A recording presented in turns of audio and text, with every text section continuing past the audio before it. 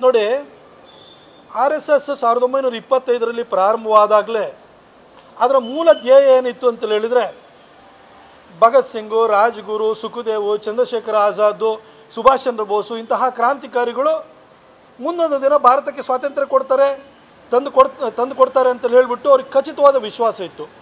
ಸ್ವಾತಂತ್ರ್ಯ ಬಂದ ನಂತರ ಈ ದೇಶವನ್ನು ಯಾವ ರೀತಿ ನಾವು ಸಂರಕ್ಷಿಸ್ಕೊಂಡು ಹೋಗಬೇಕು? ಮತ್ತೊಂದು ಸಾರಿ ಈ ದೇಶ ಧರ್ಮದ ಆಧಾರದ ಮೇಲೆ ಒಡೆಯೋ ಒಡೆಯುವಂಥ ಸ್ಥಿತಿ ಬರಬಾರ್ದು. ಈ ಎಲ್ಲ ಹಿನ್ನೆಲೆಯಿಂದ ಒಂದು ರಾಷ್ಟ್ರಭಕ್ತರ ಸಂಘಟನೆಯಾಗಿ ಆರ್ ಎಸ್ ಎಸ್ನ ಡಾಕ್ಟರ್ ಬಲ, ಕೇಶವ ಬಲರಾಮ್ ಹೆಡ್ಗೇವಾರ್ ಅವರು ಸ್ಥಾಪನೆಯನ್ನು ಮಾಡಿದರು. ಅದಾದ ನಂತರ ಗಾಂಧಿ ಹತ್ಯೆ ಆಯಿತು. ಗಾಂಧಿ ಸ್ವಾತಂತ್ರ್ಯ ಬಂದ ಬೆನ್ನಲ್ಲೇ ಗಾಂಧಿ ಹತ್ಯೆ ಆದ ನಂತರ ಆರ್ ಎಸ್ ಎಸ್ನ ನಿಷೇಧ ಮಾಡುವಂಥ ಕೆಲಸವನ್ನು ನೆಹರು ಮಾಡಿದರು.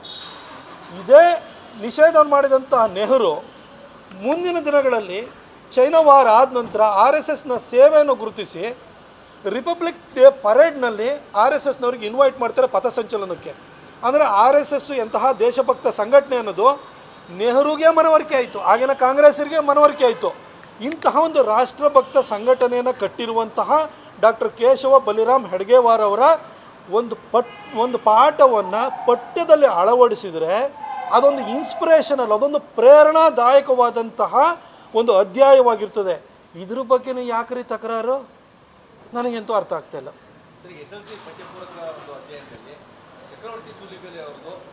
ತಾಯಿ ಭಾರತೀಯ ಅಮರ ಪಠ್ಯನ ಸೇರಿಸಿದ್ದಾರೆ. ಇದು ಉದ್ದೇಶಪೂರ್ವಕವಾಗಿ ಅವ್ರನ್ನ ಸೇರಿಸಿರುವಂಥದ್ದಲ್ಲ ನೋಡಿ ಚಕ್ರವರ್ತಿ ಸೂಲಿಬೆಲೆ ಕೂಡ ಒಬ್ಬ ಅತ್ಯುತ್ತಮ ವಾಗ್ಮಿ. ಇಡೀ ರಾಜ್ಯಾದ್ಯಂತ ಅಪಾರವಾದಂತಹ ಅಭಿಮಾನಿಗಳನ್ನು, ಯುವ ಸಮುದಾಯವನ್ನು ಹೊಂದಿರುವಂತಹ ವ್ಯಕ್ತಿ.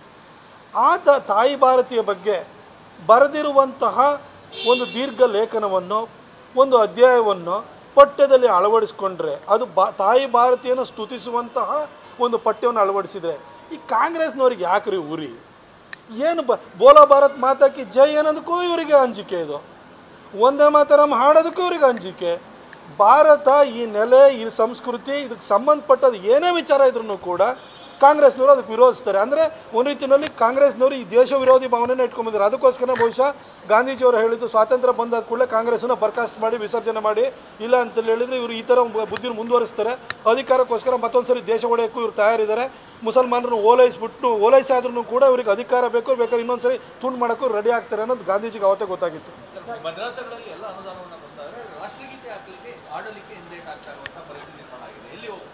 ಅದನ್ನು